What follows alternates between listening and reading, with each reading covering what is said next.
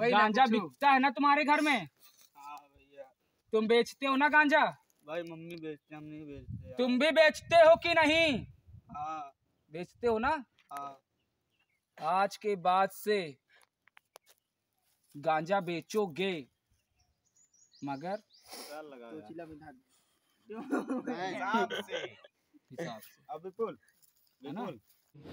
कुछ दिन पहले सलोन रोड शिव मंदिर जगतपुर के पास विपुल नामक छात्र के साथ पाँच छह छात्रों ने मारपीट किया था।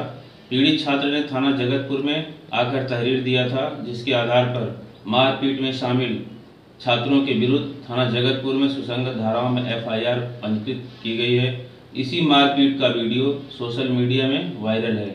वीडियो के आधार पर सभी आरोपी छात्रों की पहचान हो गई है, जिसमें से एक बाल अपचारी पुलिस हिरासत में है। उसे किशोर न्याय बोर्ड के समक्ष प्रस्तुत किया जाएगा। शेष आरोपी छात्रों को जल्द ही गिरफ़्तार कर विधिक कार्रवाई की जाएगी। हम बहुत जल्दी ही आपके लिए, आपके शहर, आपके कस्बे में क्या कुछ हुआ है पिछले पाँच सालों में? क्या वाकई आपके नगर पालिका के चेयरमैन नगर पंचायत के चेयरमैन या फिर आपके नगर निगम के मेयर और पार्षदों ने कुछ तस्वीर बदली है या फिर वही ढाक के तीन पात हैं? इन सब पर हम खबरें करने, शहर शहर कस्बे कस्बे पहुँचेंगे आपके पास।